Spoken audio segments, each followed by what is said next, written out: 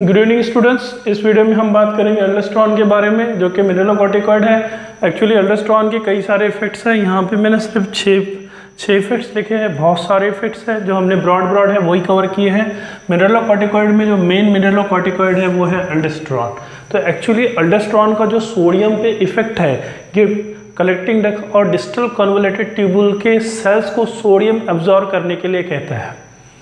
Means अगर हम simple language में देखें कि जो सोडियम की लेवल है ब्लड में, ये बढ़ाता है।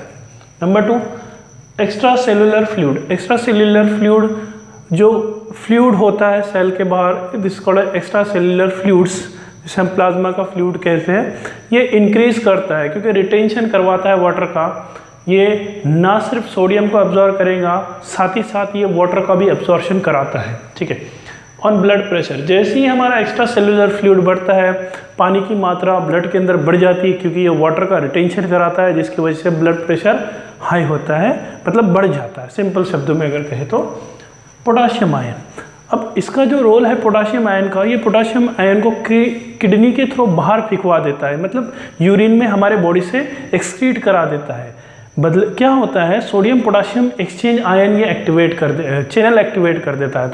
तो बॉडी के किडनी के अंदर जो न्यूरो नेफ्रॉन है, वो सोडियम एब्जॉर्व करना शुरू कर देती है और पोटाशियम एक्सक्रीट करना शुरू कर देती है, जो कि यूरिन से आउट हो जाता है हमारे बॉडी से।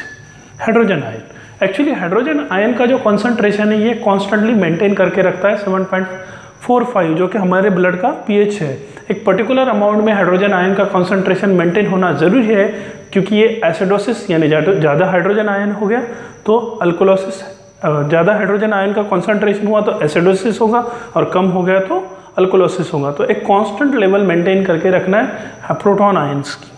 ठीक है? ये की प्लेयर है रेनिन एंजियोटेंसिन सिस्टम का। हमने कई वीडियोस में देखा है कि रेनिन एंजियोटेंसिन सिस्टम जो ब्लड प्रेशर लो हो जाता है, इसको इन्हांस करने का काम करते हैं रेनिन एंजियोटेंसिन सिस्टम चलिए हमने सारे फ़ंक्शन देख लिए। Thank you